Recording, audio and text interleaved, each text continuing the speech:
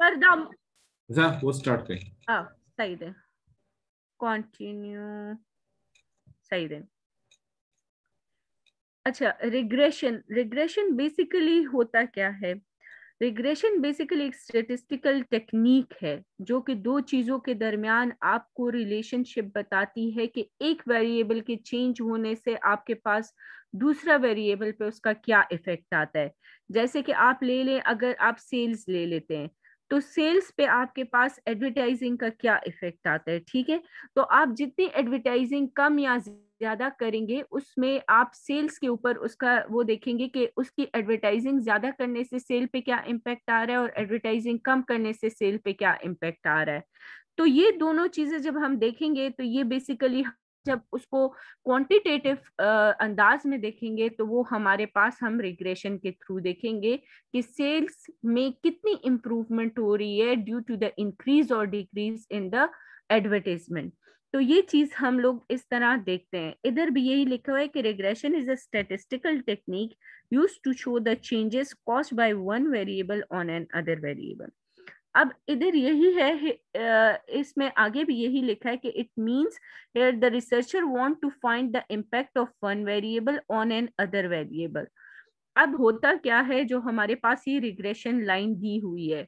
y is equal to beta not plus beta x plus mu ये mu जो है, ये बेसिकली एरर टर्म होता है।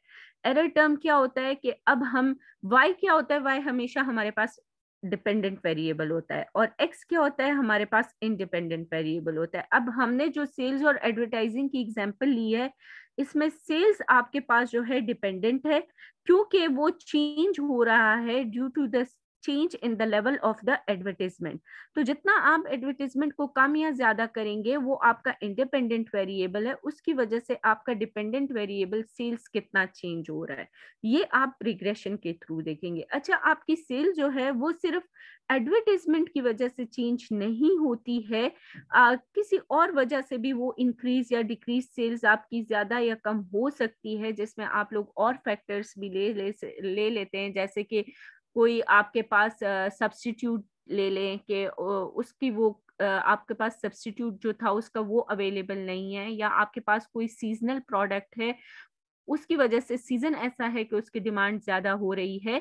तो ये अदर फैक्टर जो है, ये बेसिकली हमारे पास ये जो म्यू है म्यू को हम एरर टर्म कहते हैं, वो बाकी चीज़ें जो है, उस सारे का इम्पैक्ट जो है, हम म्यू पे डाल देते हैं। और हम कहते हैं कि हम अपने रिसर्च में सिर्फ़ सेल्स के ऊपर जो है एडवर्टीजमेंट का जो इफ़ेक्ट है वो देखना चाहते हैं। इस बीटा नॉट का क्या मतलब होता है? बीटा नॉट का मतलब है कि लेट सपोज़ अगर एडवर्टीजमेंट भी नहीं है, तब भी इस प्रोडक्ट की सेल तो हो रही है ना। तो वो जो फिक्स लेवल ऑफ़ सेल है that is called the beta not कि अगर एडवर्टीजमेंट ना भी हो तो इस प्रोडक्ट की इतनी सेल है पर अगर आप एडवर्टीजमेंट ऐड करें तो उससे आपके पास सेल्स इतना इंक्रीज या डिक्रीज होता है। तो ये हमारे पास बेसिकली इस रिग्रेशन लाइन का मतलब है। अच्छा फिर रिग्रेशन आपके पास होती कितनी टाइप की है? दो टाइप की आपके पास रिग्रेशन uh, है। एक तो आपके पास सिंपल है और दूसरी मल्टीपल है। दोनों में डिफरेंस क्या है? अब जैसा मैंने इधर अपने एक ही इंडिपेंडेंट वेरिएबल दी है।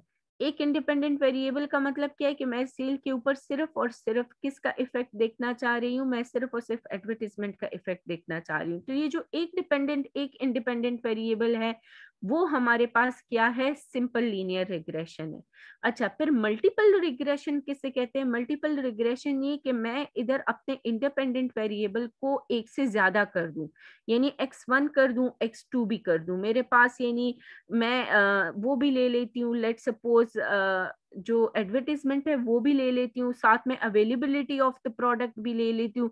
अब मैंने दो इंडिपेंडेंट वेरिएबल ले लिए और उसका मैं सेल्स के ऊपर इफ़ेक्ट देखना चाहती हूँ तो ये मेरे पास मल्टीपल रिग्रेशन है। अच्छा अगर आपने एक और वर्ड पे गौर दिया हो जिसपे लिखा हुआ है लीनियर लीनियर का आपके पास इधर मतलब क्या होता है कि आपके पास ये जितने भी पैरामीटर्स हैं parameters is your beta not and beta one अब इस इस इक्वेशन में अगर जो ऊपर रिग्रेशन वाली सिंपल रिग्रेशन वाली इक्वेशन लिखी हुई है, इसमें बीटा नॉट और बीटा वन ये हमारे पैरामीटर्स हैं।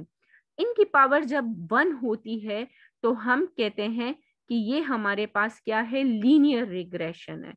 हम इरिस्पेक्टिव ऑफ़ द फिक्स्ड के वेरिएबल्स हमारे पास वेरिएबल्स कौन कौन से हैं? एक्स वन एक्स टू ये इंडिपेंडेंट वेरिएबल्स हम इनकी पावर से बालातर हो के हम देखते हैं कि हमारे पास जो पैरामीटर्स हैं, इस क्या वो क्या है पावर क्या है? जब इसका पावर वन होता है तो हम कहते हैं कि हमारे पास ये लीनियर रिग्रेशन है। तो ये तो हमारे पास कुछ बातें हो गई रिग्रेशन से रेलिवेंट अच्छा फिर आगे हम लोग दूसरे उस पर जाते हैं, जो कि हमारे पास मल्टीपल रिग्रेशन के बारे में थोड़ा सा बताया हुआ है। कि वहाँ पे more than two independent variable हो गए, जो कि मैंने बता भी दिया है। फिर आपके पास आया है कि इसमें सारी वही बातें की गई हैं जो हम देख चुके हैं। विद एन एग्ज़ाम्पल इन्होंने थोड़ा सा एक्सप्लेन किया है, जैसे ऑर्गेनाइजेशनल परफॉर्मेंस पे किस किस चीज़ का इफ़ेक्ट होता है। बीटा नॉट इज़ यूर इसको हम क्या कहते हैं? इंटरसेप्ट कहते हैं intercept beta naught is your intercept which is your fixed organisational uh, performance और उसके साथ ही फिर उस पे बीटा वन इन्होंने क्या लिया है? ऑर्गेनाइजेशन जस्टिस लिया है बीटा टू क्या लिया है? ऑर्गेनाइजेशन पॉलिटिक्स लिए आप जी सर जी? फ़र्स्ट पेज पे नहीं मैं सेकंड पेज पे हूँ। क्या ये शो हो रही है? पेज टर्न नहीं हुआ ना? अच्छा पेज